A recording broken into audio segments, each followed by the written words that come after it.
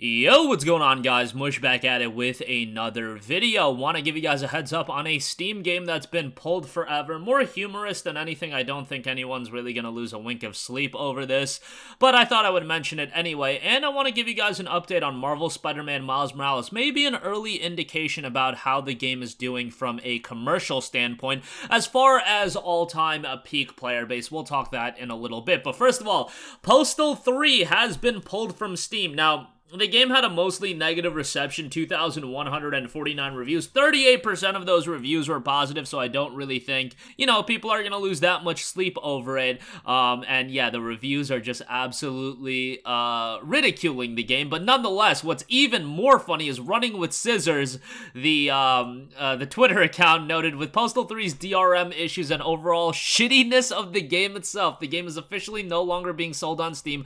We didn't have control over the page, so we couldn't make it free before the DRM issues began, at least people will no longer buy that trash. Wow, that's uh, that's pretty extreme, but nonetheless, the game has been pulled forever on Steam. I like to, you know, whenever I hear about games getting pulled from Steam, I like to give you guys a heads up. Usually, you know, it has things to do with licensing issues or partnership agreements ending, and then that's why a game would be pulled from Steam.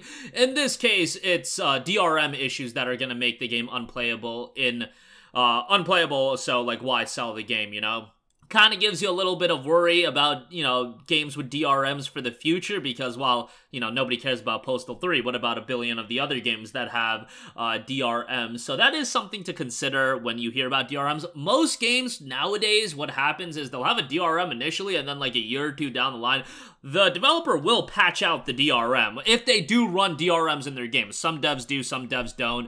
Um, I believe Capcom is like one of the developers with the Resident Evil games that have like Denuvo in them. Denuvo is pretty prominent across a lot of different games. Nonetheless, with Postal 3, that has been pulled. And again, humorous nonetheless, as far as uh, the game getting pulled and it just getting absolutely crapped on. But yeah, I don't think too many people are going to lose sleep over that, as I mentioned. All right, moving on from that, I do want to give you guys a heads up about Spider Man Miles Morales.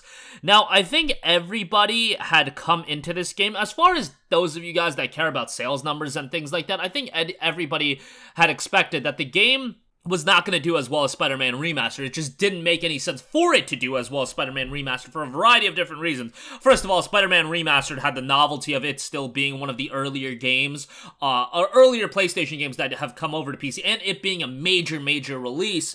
Um, you know, at this point, seeing how Uncharted has done, seeing how Sackboy has done, that novelty has dissipated a little bit. Don't get it twisted. When a major PlayStation game comes out on PC, I still foresee it to do very, very well. I foresee God of War Ragnarok killing it when it does eventually come to PC. I foresee Horizon Forbidden West killing it, even though that novelty has kind of worn off a little bit. Like, back when Horizon Zero Dawn first came out, that game, that game was a shocker for it to come to PC. Then Days Gone, even even though it was a lesser exclusive and it didn't do as well as Horizon or God of War, it was still a little bit of a surprise to see that come to PC. At this point, None of this is a surprise. Like, now we know Sony's game plan with them releasing their games on PlayStation 5 or PS4 and then, and then ultimately a year, 16 months, 24 months down the line, it'll be coming to PC as well. So Spider-Man kind of had that novelty still. Miles Morales doesn't. And obviously the biggest reason, uh, or probably the first or second biggest reason is that Miles Morales is a smaller game. It's a standalone expansion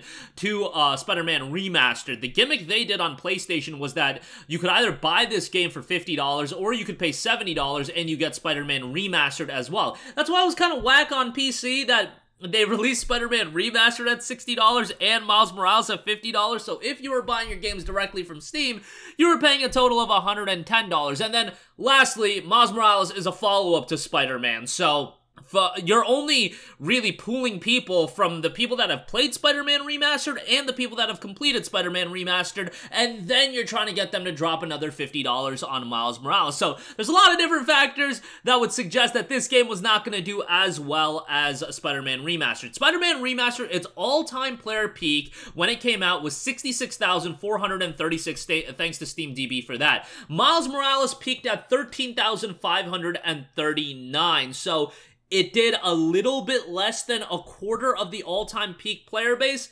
not too surprised at all about that. I think that's what most people were expecting. Look, it was one thing dropping $60 on Spider-Man Remastered because that is a big game. That is the first game in the uh in this, you know, arc of Spider-Man titles.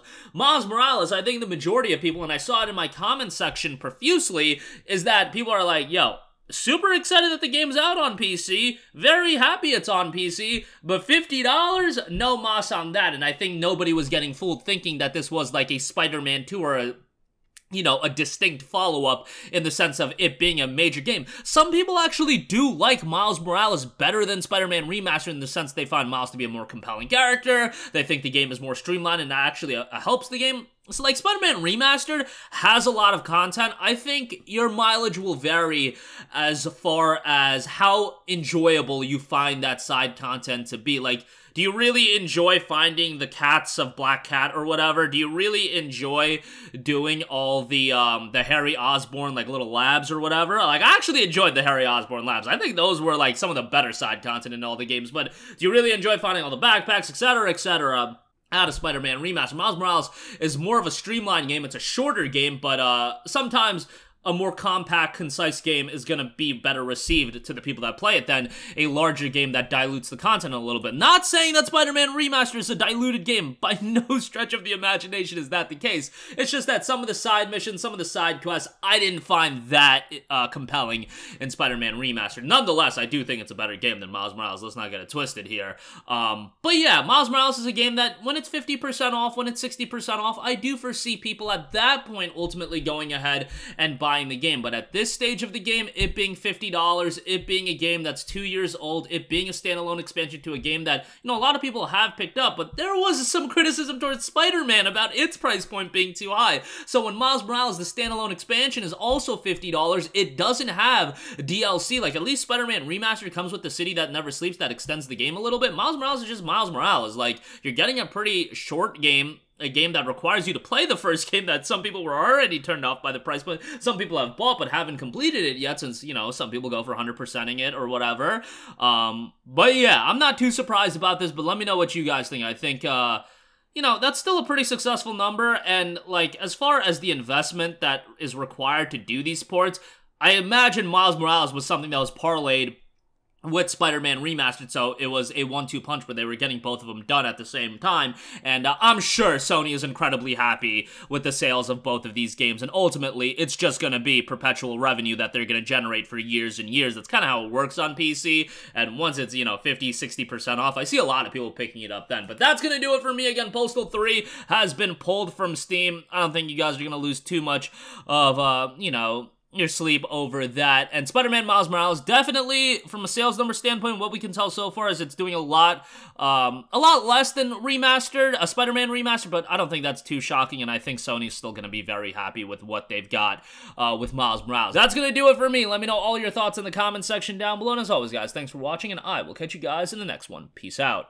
Hey, what's going on guys? Mush here again. Hope you enjoyed the video. As you guys might know, YouTube's notification system is sometimes a little bit wonky, even if you're subscribed to the channel. Maybe you're not abundantly aware that I uploaded a video to remedy that situation. Make sure you hit the bell notification button. This way, whenever I upload a new video, and I try to upload as consistently as possible, you will be notified directly of the upload, and you can watch it as soon as it goes live. I would really appreciate if you guys hit that button so you can stay up to date with all of the content I'm posting. But as always, guys, thanks for watching, and I'll catch you guys in the next one. Peace out.